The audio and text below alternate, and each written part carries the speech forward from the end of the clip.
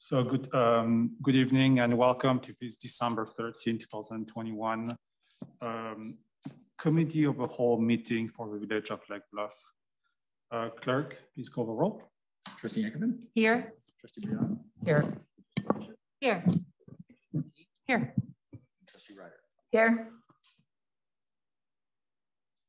First is our non-agenda item and visitor for public comments. The Committee of the Whole allocates 15 minutes during this item for those individuals who would like the opportunity to address the Committee of the Whole on any matter not listed on this agenda. Each person addressing the Committee of the Whole is asked to limit their comments to a maximum of three minutes. Anybody? Anybody online? No, sir. Let's move on. Uh, Next is our general business item. Um, Are there any requests to modify the order for our um, agenda tonight? Now let's proceed. First is our consideration of the minutes from the November 22nd, 2021 Committee of the Whole meeting. Um, Is there a motion to approve the minutes? So moved. A second? Second. Any comments and changes? Thank you. Uh, Clerk, please call the roll. It's a. Um, Anyone in favor? Aye. Anyone opposed? Thank you very much. Next is our informational update regarding stormwater infrastructure planning. I believe this is Mr. Ham- Hanson. Sure, Do you have the presentation ready, Drew? I do. So in October, uh, we talked with the Finance Committee about um, potential sources of revenue for future stormwater projects. And The direction we received was to keep looking at the potential of a stormwater utility fee. Uh, So this presentation is uh, intended to kind of update you on where, uh, we got to this point and where we, what we've done since October.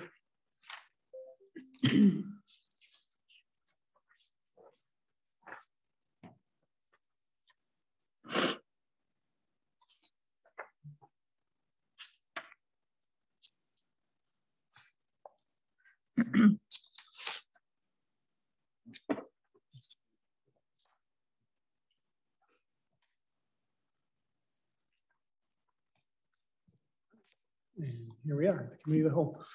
Uh, so we're gonna go over, um, our, our plan of action, what we're doing now and in the future. Um, We have a list of projects that were developed a couple of years ago, and we're gonna talk about those projects and, uh, the amount of revenue you need to bond to pay for some of those projects. Um, and then we're gonna talk about, uh, uh, the fee methodology, uh, which is how, um, our estimate right now of what the revenues could be pursued it and the billing rate, what it would take, take for an average homeowner to pay for this fee, um, credit opportunities, um, and answer questions. So, um, the timeline was shared in October. We modified it just a little bit. That, that is the next slide. Um, if you go, so then, it's basically working through it over the next calendar year in 2022. And if, if we choose to implement it, that would start uh, as early as the first quarter of 2023.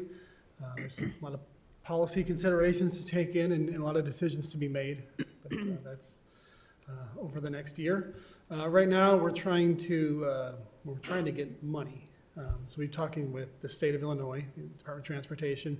They have not eliminated in their mind a solution which would take the stormwater from the viaduct and put it into the ravine where it goes now through a larger pipe.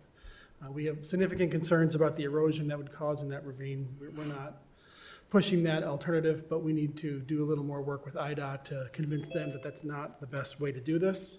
So we're working on that now, and we are continuously seeking grants. Uh, And then um, we've talked to the county. And uh, those, conti- those discussions continue, uh, trying to find ways to help fund this. Uh, Just to kind of go through, when you get federal money, you have to go through the federal process. The federal process takes time, so We've uh, asked, uh, Scott Griffith is here from Christopher Burke. Um, He has kind of given us a, la- uh, estimate of what a phase one engineering study would cost. Um, That process, if we start it now or soon, it takes about a year and a half to get that approved by the state. And the biggest thing in there is to define the layout. Um, You do all your environmental studies and identify any land that might need to be acquired. That concern for land acquisition is mostly in Lillian Dell. We have a 16-foot right-of-way. If we try to put a six-foot wide pipe through a twisting right-of-way, that we may need a little um, temporary easements or permanent easements in there to make this project go. Um, Phase two, after phase one, would the land acquisition process. That can last years or it can take months, depending on, you know, the negotiation with the landowners and how much land we need to acquire. If it's permanent acquisition or a temporary easement, uh, that time frame can expand or contract based on those factors. Uh, And then construction, uh, we're estimating for the project to go from the viaduct to Lake Michigan, in about, t- about two years, two and a half years of construction.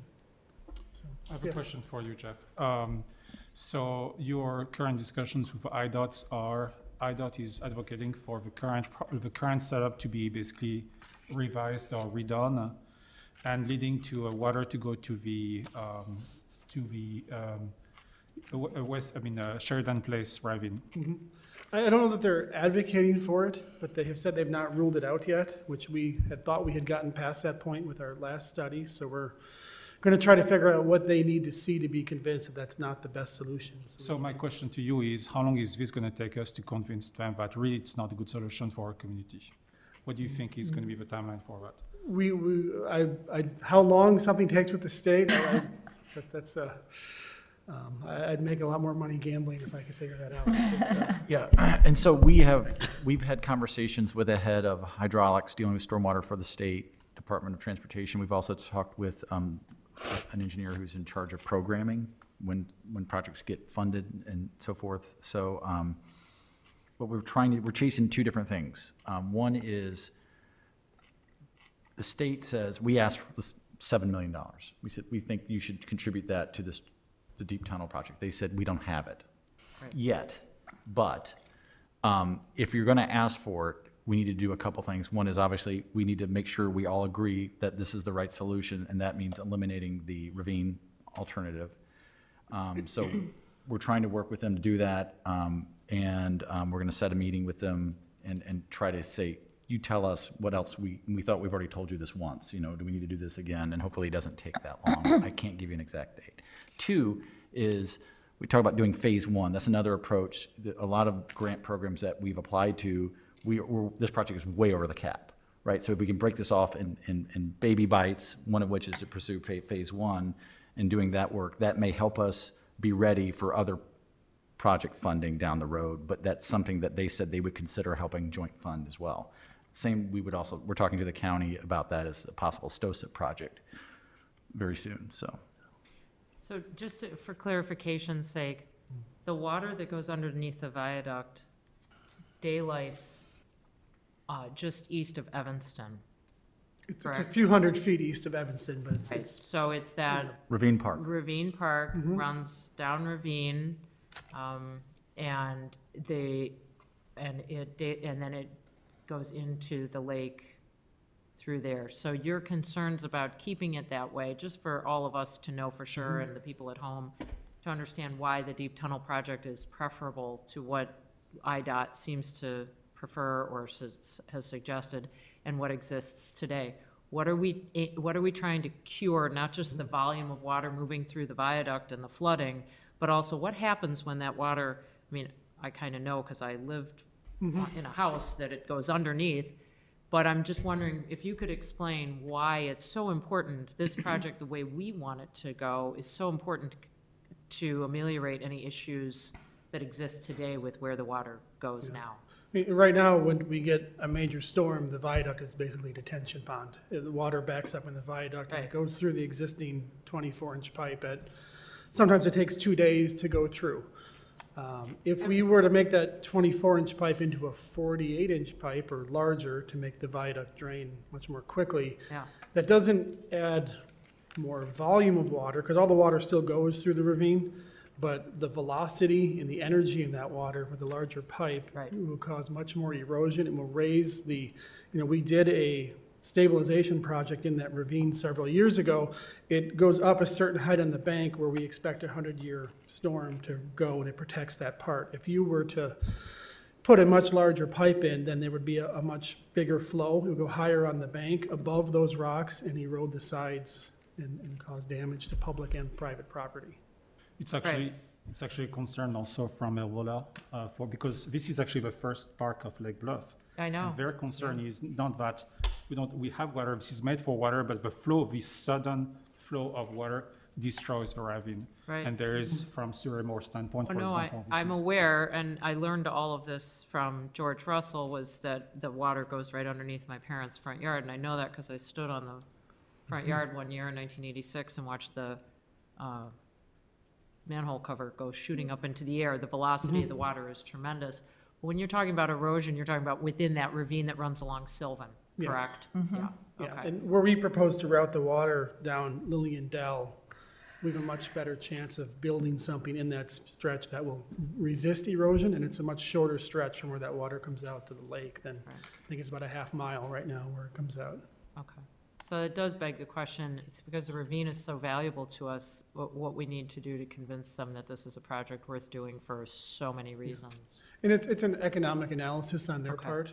Okay, And we basically just show them the cost of stabilizing the ravine, which I think we did already, maybe Yeah. just didn't see it, is so much that it doesn't make it, you know, a more economical project to dump it into that ravine and try Yeah. to armor it. and we'd have to keep doing that because the projections probably, I mean, we just changed what the parameters are for a hundred-year rain mm-hmm. event, so we would just have to keep stabilizing the ravine, right? I mean, it, it just is gonna, it, it, you don't just do it once.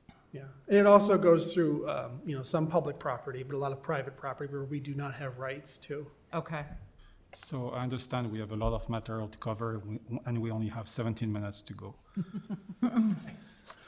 Uh, So these projects listed here, it's thirty million dollars worth of projects. Uh, You know, it's not to say that over time, this would be the order and the exact things that we would do if there, if a utility was established to raise money. I mean, some of these things are ten-plus years out, but these are projects that have been identified to solve flooding problems in, in the worst flooding areas of the village. So after our last meeting, we talked about a methodology of establishing the rate by zoning district. Uh, We had Christopher Burke and Scott looked at some examples of parcels in each zoning district, made an average impervious area, um, kind of established that thirty-two hundred square feet would be our one ERU. And then this shows what the average annual fee per property would be for the different residential and non-residential zoning districts. Um, And this is based on a one ERU cost of hundred and nine dollars, which was an, an average identified in the October, um, meeting of all the like communities around here. And that produced a total revenue of about six hundred and twenty thousand. That's a little plumped up because some of that money comes from us as village owns property with impervious surface, so that six twenty is probably not, you know, it's a little, uh, ambitious from that hundred and nine dollars, but it gives a good example of what we could raise. You know, this was kind of a, a light dive. We're taking this in little chunks as far as having our consultants work on this for us until we get direction to go full bore. So these numbers will change a little bit if we move ahead, but I think this is a pretty decent sample of what we have. And this uh, sheet came from, uh, our finance department was looking at if we had a certain revenue stream, how much could we bond?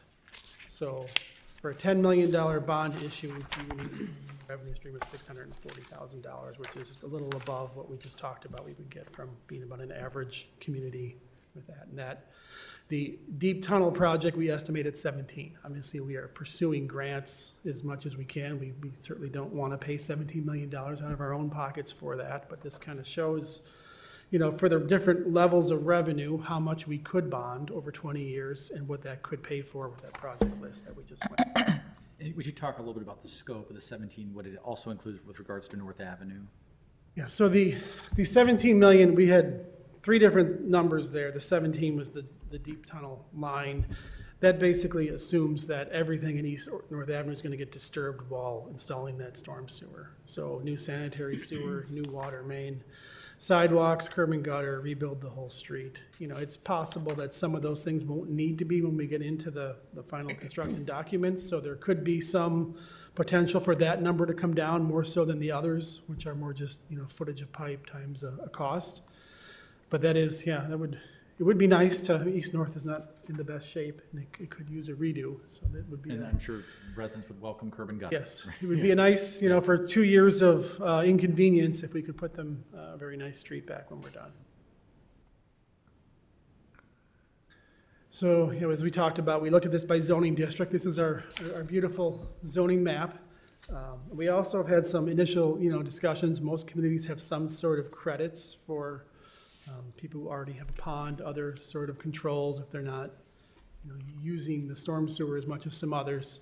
Uh, But there is a trade-off to that, so we talked about, you know, how much revenue you'd have to do to support a bond. So for every credit we give out, you either have less revenue or you offset that by raising the base rate.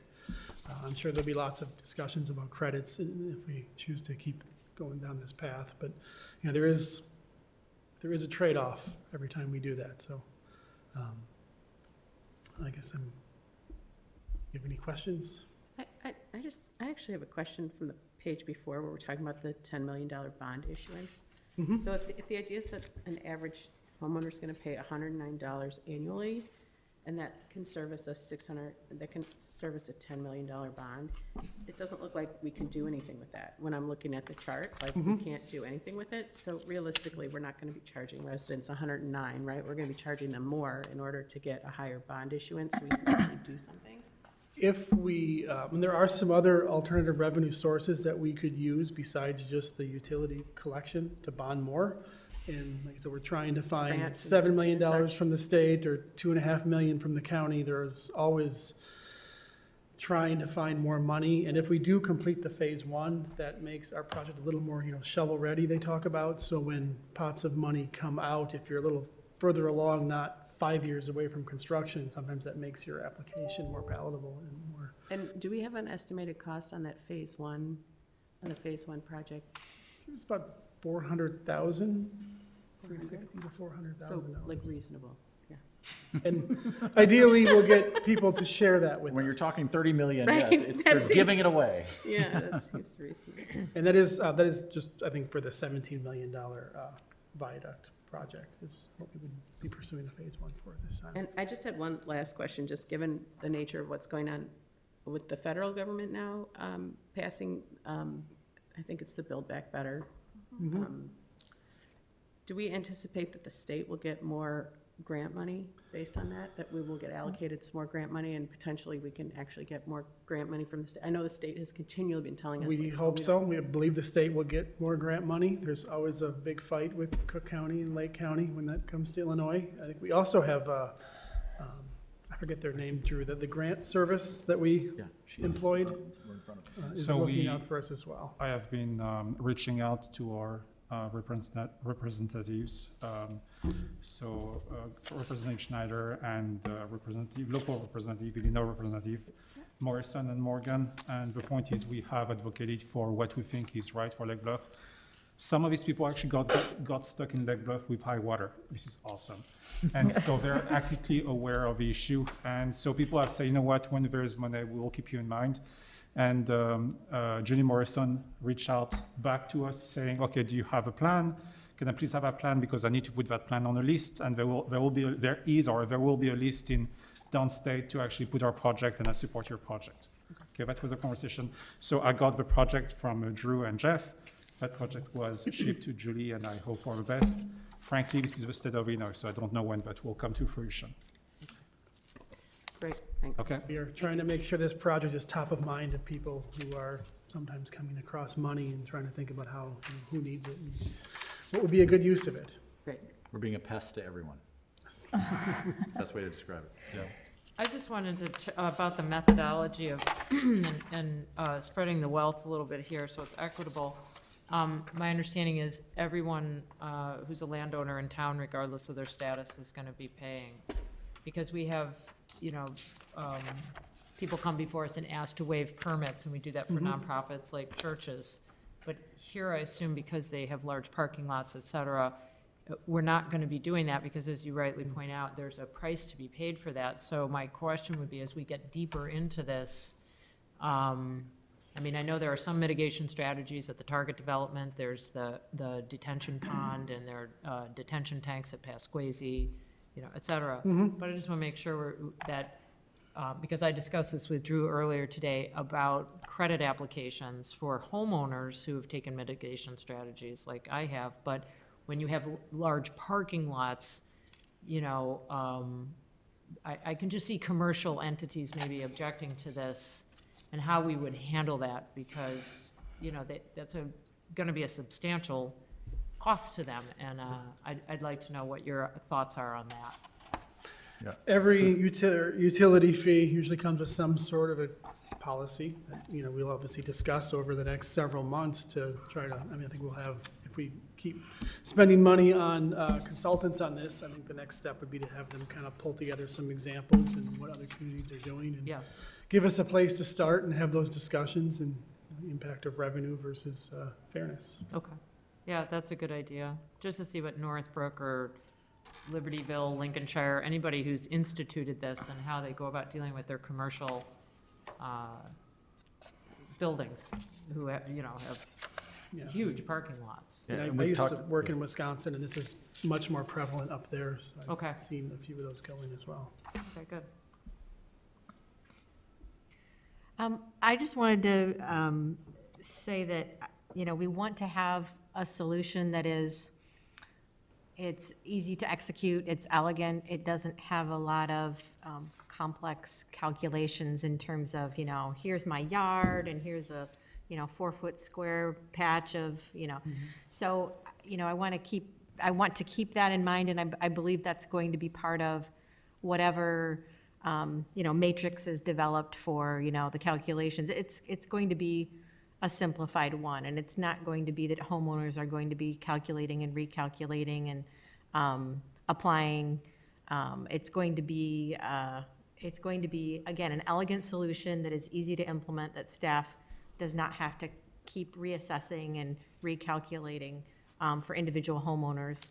Um, And, and I would assume that the biggest piece of this is, again, going to be the commercial piece. And so that would be the main focus then of, we need to really critically look at who are the commercial entities that this would be the greatest impact on, and what is the most equitable way to, to address that individually, as opposed to individual home parcels. Uh, The commercial piece of it is going to be probably the one that needs the most individual, um, you know, inspection and analysis before we move forward, correct? Yeah, I mean, the goal is that as much of every dollar that is collected goes into the ground as a project, not as administrative costs. Yeah, exactly, exactly. Of course, the one challenge, I think, is that a lot of the commercial, the biggest commercial entities we have are west of, so the, the stormwater doesn't necessarily flow under the viaduct, so they may object to paying this because they don't have, you know, impact, et cetera, et cetera. Mm-hmm. Whereas, you know, homeowners may say, hey, wait a minute, I've done blah, blah, blah, and mm-hmm. So I do, I do hear what you're saying, I just think there's gonna be this tension. So I'm gonna, I'll be interested to see how we go forward with this. Do you already have a, uh, um, um, a simple uh, calculation algorithm for, for that? Well, I mean, if you look at um, the, So for the assessment portion, the AP zoning is pretty much just Knauz. And, I mean, that is thirty-five thousand dollars in this uh, um, example, based on their impervious area. So, I mean, they're- They may object to that, or they may not. I mean, it's, uh, some, somebody certainly in the village will object. and It's a matter of having a clear credit policy, and um, everybody always asks for exemptions, but then that's kind of a matter of how, how we're gonna write if we go forward the ordinance. But to Kate's point, does it matter which watershed a property is in, right? It just matter, matters that they're in Lake Bluff, that they pay this fee, even though their watershed may be uh, not having, not causing the flooding problems on the west side of Green Bay. Yeah, and the thought being that even if your property doesn't contribute to the flooding, you use the village streets, you I see. benefit from the improvements. And you're a community partner, ultimately, right? Jeff, I had a question about how other communities handle, um, like, schools and, um, Churches. other taxing bodies. So, because essentially, right, when we pay our taxes, we pay taxes into the school. If the school now is gonna have this large fee that they have to pay for stormwater utility, um, that's essentially gonna come from my property tax dollars, right? And then on top of it, then I'm also paying hundred and nine dollars extra every year. Mm-hmm. Yeah, no, So is there, is there a way that communities have dealt with that, or is that, is that just, do they consider that part of like, y- you know, you're utilizing the school, it's a community partner, you, so we kind of all pay into that, and it's, So I, I did estimate the schools as well, it's about eighteen thousand based on their parcel size. Part of that is, this is a user fee, not a tax. Okay. So that generally all the users pay the fee. And I think there's, and Peter's not here, but there is a legal reason that you try to make it fair and equitable by doing the, the fee to all impervious surface, uh, properties. And you're right, you do get, pay your tax to pay us. There are also different, you know, populations, members, like the park district isn't exactly the same boundary as the village and neither is the school district. So, um, by charging the fee equally, it kind of makes it a little more equal for the village residents. And there have been situations where other communities have had the benefit of needing storage on like school property. And so they work out, oh, and, and for lease of these fields for this purpose, then you've satisfied your, your credits as you're serving the greater community, you know, so there's super elegant ways that we would love to find, right? So we can, maybe, if that's, if those exist, we're looking for them, so. I guess I was just thinking more of like a, like a, a person who's not utilizing the schools anymore, but still lives in the community, and is not, you know, is now, I mean, essentially is paying twice. So, I'm, and I, you know, that was just my In the, uh, the institutional zoning, like I said before, is the least consistent. You know, some of these like R one, R two, there's not a whole lot of variance in impervious surface house to house, so it's generally fair, or we may need to look at the institution a little more closely, like the golf course, we just kind of ignored for Versus this the library. calculation. Yeah, where the library is almost all paved. Yeah. versus, you know, something with a soccer field. It's a little different, and to make things simple, we've kind of assumed, you know, one impervious area per zoning district, like some of these um, non-residential is maybe seventy-five percent of the parcel, but that does vary a lot more for schools. Churches are more impervious than the schools. Okay. And that Okay. is something we'll have to look at as we go through. Thank you. I just, I, I know it gets very granular very quickly, especially when it comes out of my purse. You know, it al, it always does. But I would just encourage us to try to step back and say, we're looking at things that individuals could never accomplish individually, right? There's, there's no way we can attack a problem like this as an individual. We can do a little piece of it. And so we always need to step back and say, what's the best for the whole? And as this entity has the ability to impact a larger swath, it's a great responsibility, but it also gives us great opportunity to, again, accomplish things that we couldn't as individuals. And so when we're tempted to get granular and say, well, this little thing here, and how does that, this little, let's compare, and who's, we, we've got to step back and say, wait, what's, what's the big picture? So even if this little thing is a little more or less than that little thing, that little piece over here also benefits from the big picture, which we all are trying to accomplish.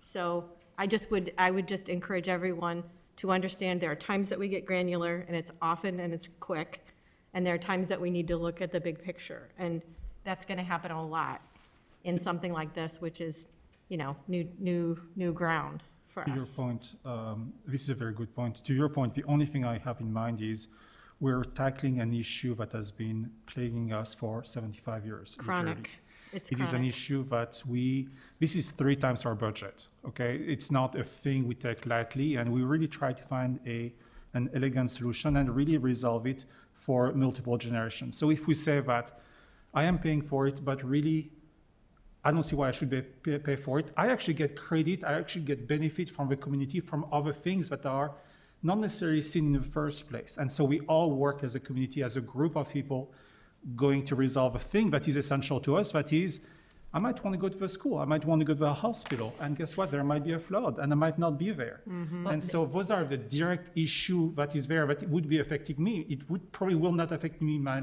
my lifetime, but as a community, we're all helping each other.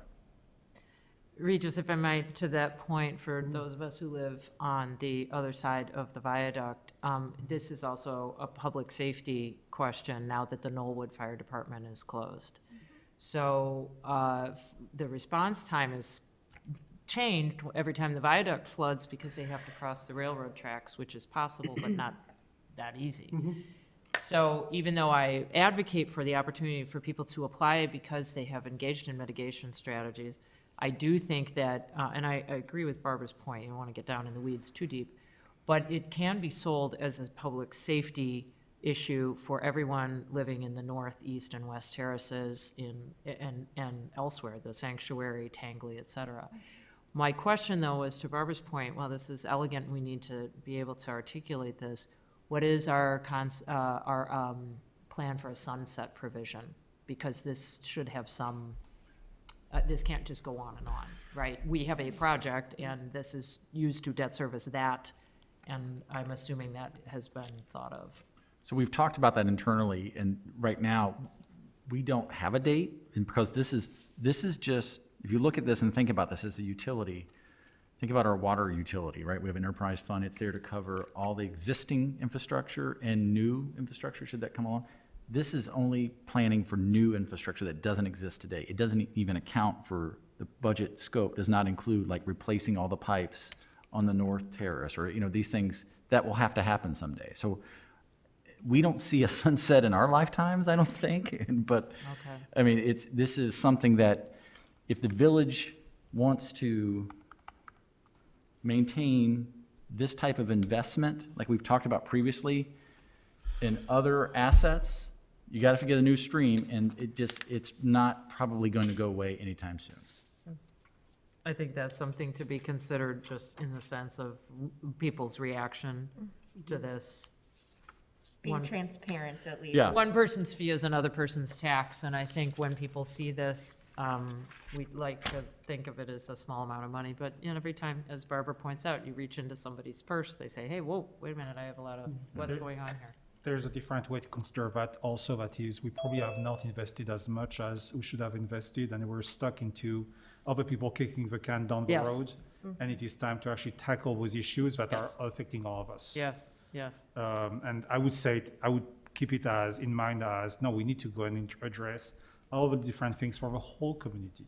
Well, then, and what Drew's point is, I think would be good for us to flesh that out and say, look, we're looking at maybe, and, and give us a, uh, you know, we tend to think in such short terms, two, five, ten years. What are, what are we looking at? If we aren't going to be sitting here, the group of us, but for the next people that come along twenty years from now, so that residents can have a sense of what we're trying to do as a legacy for infrastructure, so that we don't do what Regis, I think there's a hundred percent, I agree.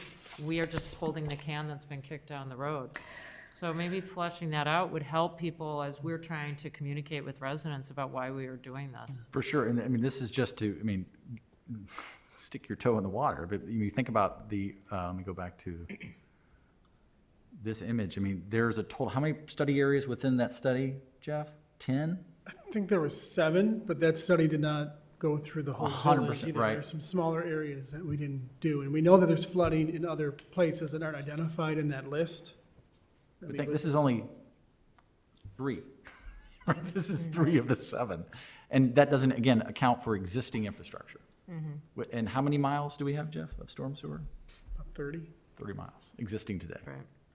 And I just, I just like to add, of course, I, I want, I- this is a community project, it's gonna benefit everyone. But I think it is good for us to ask some detailed granular questions, just to get people thinking like, how are we handling this? And have we thought about that? So that, um, so that we can go back to the community and say, hey, we flushed all that out, and Yeah. here's where we ended up. Yeah. So I mean, I, my intent is not to, to whittle it down to the point where like, we're, you know, it's crazy for you guys to try and be managing this or whatever, but I am gonna ask those questions, because I think they're important that we at least talk about them. Yeah. flush them out, and we get to a point where we're all comfortable. Hundred percent. And, and just, I mean, tonight's goal was to say, like we said, we're gonna bring back something that you, we're gonna throw up against the wall and get some, rea- it sounds like everybody seems comfortable with what we're pursuing, so we're gonna keep going, keep working on this and bring it back again as soon as we can. Yeah, I like that. Okay? So, so this is an incredibly important subject. And frankly, I, I really want those answers so that we can be comfortable with the community going forward with this is what we're trying to achieve for that amount of money that is consequential. But we also have the capital improvement program for 30 minutes. So if we could move on. Yeah, so again, we're finer and finer point. It's gonna keep getting. yeah, right. I, I, I really agree with Joy. I think it's, it's, it's good to get a little bit, uh, detailed, because we have to, we have to explain this to people. They're gonna ask us those kind of questions. Thank you. Thanks, Jeff. Next is our uh, fiscal year 2022 uh, capital improvement program. Jeff? Yeah, so we do this every year, meeting December, where we kind of go through the, um, the capital plan and where all the projects sit. And um, some of these don't necessarily look like capital projects, but they were budgeted as capital projects. We took everything that was in the capital plan and the budget, plus a couple things we've added during the year. uh, And we total of twenty-five different projects that we're trying to make progress on this year. Um,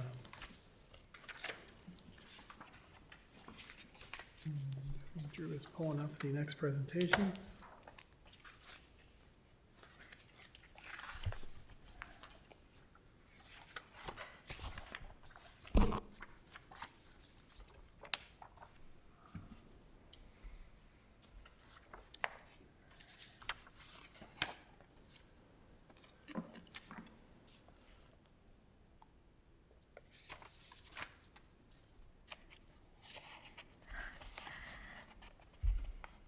Okay. So, yeah, we divided them into ones that are complete, um, we're working on, and ones that, uh, we're still trying to get moving.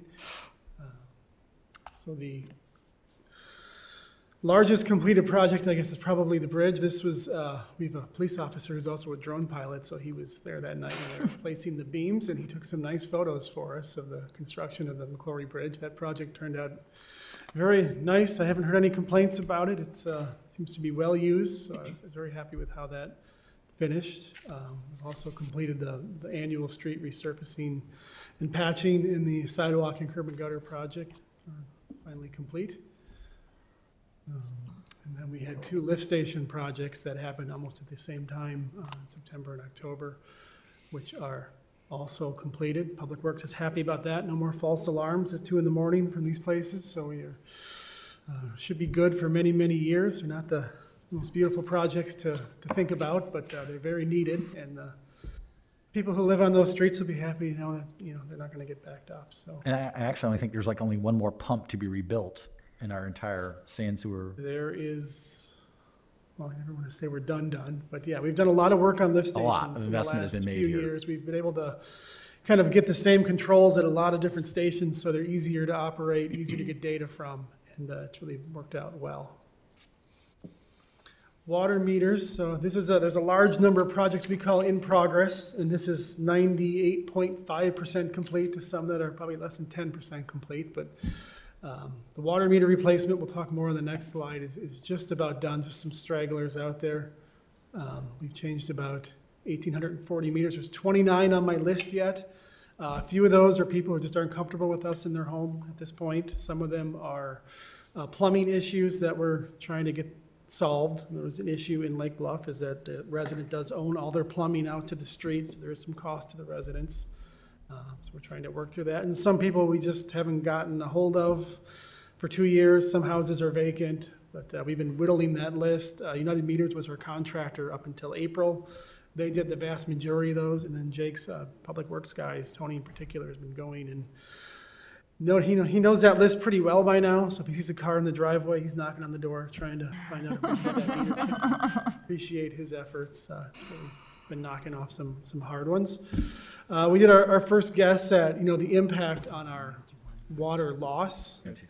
Um, Glenn was working on those calculations quite a bit. Looks like we went from about twenty percent to fourteen percent. Uh, we're gonna tighten that number up. What we found out is our, our meter, uh, that meter's water leaving the water tower is probably not all that accurate. So we need to get that calibrated to get better information. But it is showing an impact uh, on our water loss, so that's what we'd hope for. That's, that's good news. Um, You go back up one, Drew, there's a couple other. So the hydrant flushing was one we added. Um, We did some of those this fall, the rest we'll get in the spring. We're gonna flush uh, and, and um, flow test 100 hydrants.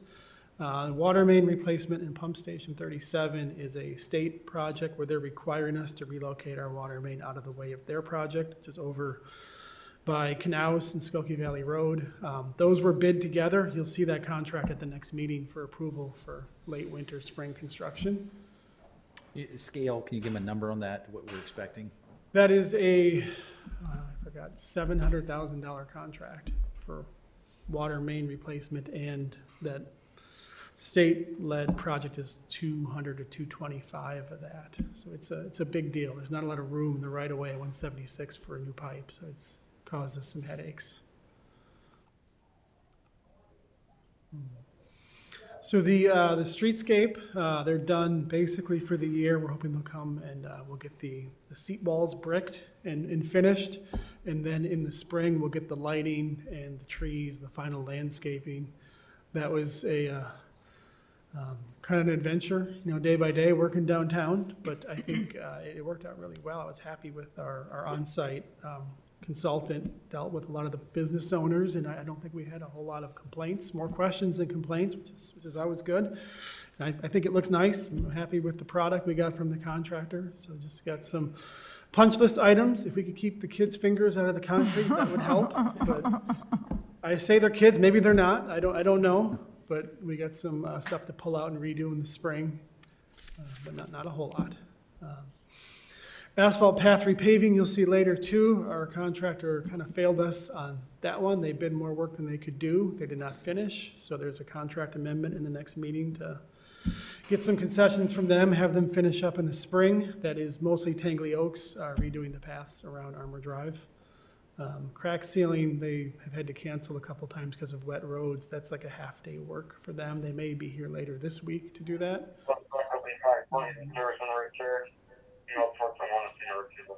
All right.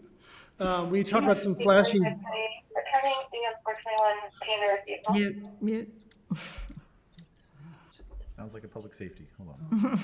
And back on the last slide, we're trying to increase the um, safety of the crosswalk to the elementary school across Green Bay Road. Uh, That is ready to go into the state for review. I don't know that the state's going to approve that or not, but we're going to apply for it and see if they will let us do that. In the past, they have not indicated that they wanted that in their right of way, but hopefully they will see our, our thoughts on making it safer for the kids to get to school. Did I hit the wrong button? I'm sorry. Did you Yeah, and then Green Bay Road, we Yeah. are gonna reapply for council of mayors funding, um, this winter for probably construction in twenty-five or twenty-six now. The big issue with that is the bridge and the State Historical Society wants us to save those iron trusses on the Green Bay Road Bridge as you go south out of town, and we sent them a report saying that's not the most, that's not the best solution for the community. Um, we'll get their final opinion on that in March or April. All that work is eighty percent federally funded, so we're following their process, and their process might tell us we have to chip those things out of their existing concrete and try to salvage them, so we will see if, uh, we'll see how that goes hoping that they will see our way. Uh, just a couple of small things in progress, stormwater, and the bottom one, the utility planning we just talked about. What you're seeing here is a slope that has failed a couple times, uh, at Birch Road. So we're developing a plan to extend that culvert. We may need to get an easement from the adjacent landowner to try to make that slope more stable. And we've done a couple of miscellaneous projects, a little money left in that budget. Um, Basically, when somebody's sump pump is pumping in the street, and it's causing ice all winter long. We've been trying to take care of small things like that, little drainage issues with that project. Sanitary sewer, um, another contract for later today is some manhole inspection. We've had some inspections done already. We have a kind of a roster of work that needs to be done. Those inspections will complete that roster. We'll put out some improvements out for bid for it's listed separately, sanitary sewer improvements and Moffat and East Witchwood Basin improvements, but that's all gonna be kind of one project. Um, And then Tangley Oaks, we've rebuilt two of the three pumps there.